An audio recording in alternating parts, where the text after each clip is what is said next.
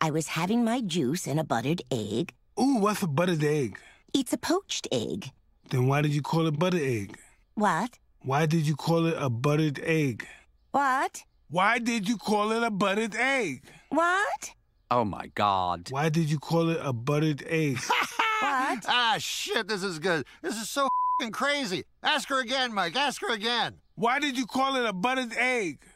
Yes, for breakfast. I don't get it. This is just a poached egg. There's no butter taste at all. No, no, I like it. I like it. It's buttery and delicious. So buttery, so buttery. Don't worry, ma'am. I'll find your bird. You don't happen to have any butter, do you? For these dry, tasteless eggs.